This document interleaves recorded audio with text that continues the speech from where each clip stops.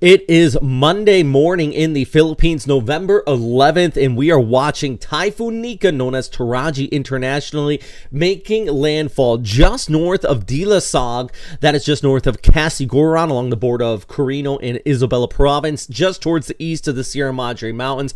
And the mountains doing their job protecting the Cagayan Valley, but I'm already seeing, you know, the rainfall pick up in these places like Ilagan over towards Cauayan. Got a plenty of friends out there who are reporting that, yeah, the winds are starting to pick up there. Of course, the worst of it is off here towards the west. Now, we do still have that threat of some coastal storm surges here, especially as those winds wrap around. But the big issue, as this traverses the Sierra Madre Mountains, we're really going to see that heavy rainfall set up out here. And that is going to be heading down into the Cagayan River, the uh, Magat River over here. I mean, all these tributaries. This is the big watershed right in there. And all of that is going to pile up and eventually start to head downstream. So that's going to be one of the bigger issues here.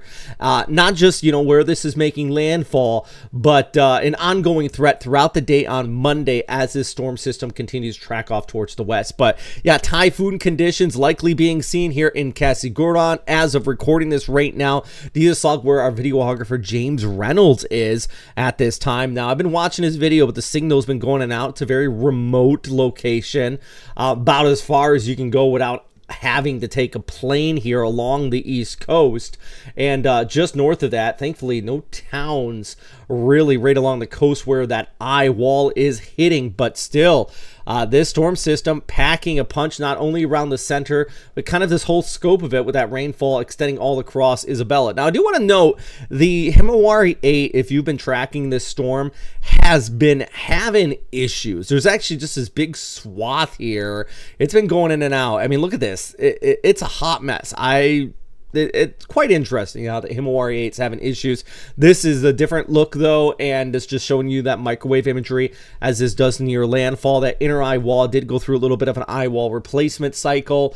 And reality is we actually kind of seen this weaken a little bit prior to landfall thanks to some drier inflow, and I think that EWRC uh, took place. So at this time, it's actually more of a severe tropical storm, uh, Cat 1 type typhoon, which is great news. This didn't make landfall as a three or four, but uh, still Signal Force 3 and 4 is up here across a good portion of uh, central Luzon, which means typhoon conditions likely as this traverses and tracks off here uh, towards the west. So yeah, let's let's talk a little bit more in detail about what you know what we're seeing out here. First, starting off with a model outlook with the ECMWF as we track this storm. This is making that landfall here on our Monday morning. Tracks right over Ilagan, uh, no surprise there. And even though it hits the mountains, like I said, uh, that watershed region here, uh, the Magat River, Magat Dam included, is going to be looking at that heavy rainfall throughout the day on Monday.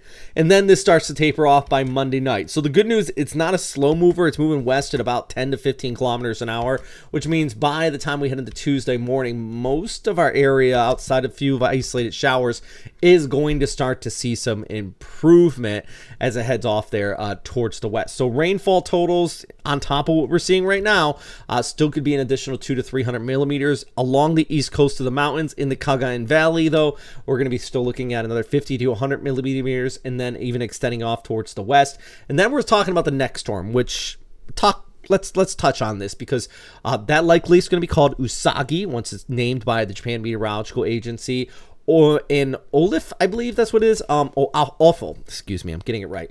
Uh, uh that uh, you know the ECMWF it's not named yet, by the way. The ECMWF actually been trying to turn this towards the north, off the northeast coast of Luzon, but we can compare that up with the GFS uh, right here. Oh, this is the ECMWF. That is for Wednesday night heading into Thursday morning. And the GFS, though, brings this further towards the south. And we look at the spaghetti models from the GFS and ECMWF. And really, both models do more or less say landfall. ECMWF does have that chance of a recurve off towards the north. But yeah, this is still too close to call eh, for an exact landfall or not, or exactly where this could go. But I do think residents in northeastern Luzon, the same people who are currently experiencing this, need to be getting ready again for another possible typhoon in just a few days. I don't like getting too far ahead of myself when we're talking about these storm systems because they are serious and they um you know, we, we have to concentrate on what's happening now, but I just want to remind you it's not over yet. And we got another storm in our forecast here that is going to be causing additional issues by the end of the week. I mean, look at the broader picture. Of course, we also still have uh, what is left of Typhoon Marce. It's actually weakened out. You see in the satellite image. Look how just the shear just ripped this apart, and that's what eventually is going to happen uh, here to um, our current storm uh, pushing overhead. But then we have what could be called Usagi. We have Man-yi right in here, um, Toraji, of course, and yeah, in Yinxing.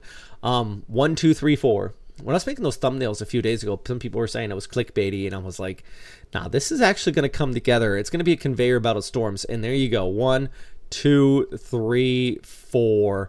Uh, yeah, it is one storm after another, friends. And uh, unfortunately, with this one passing, I do think we're at least going to get one more typhoon before we start to see things taper off and uh, hopefully uh, begin to improve as our high pressure starts to settle in from the north and kind of draws in some relatively drier air as we look ahead. But for now, yeah, we got well, let's let's continue to track the issues at hand. So yeah, I'll keep you posted. I'm meteorologist Robert Speta. If you like these updates, please, please, please, please, please check out our Patreon. Link is down below. Can't stress it enough. Make sure you all hit that subscribe button. Let's get up to 100,000 subscribers. Let's get there. Let's get there finally after doing this for 15 years. I've been trying to uh, trying to get up there. Anyways, yeah, shout out to everybody impacted by these storms right now. This is the worst of it right now. It will only weaken from here.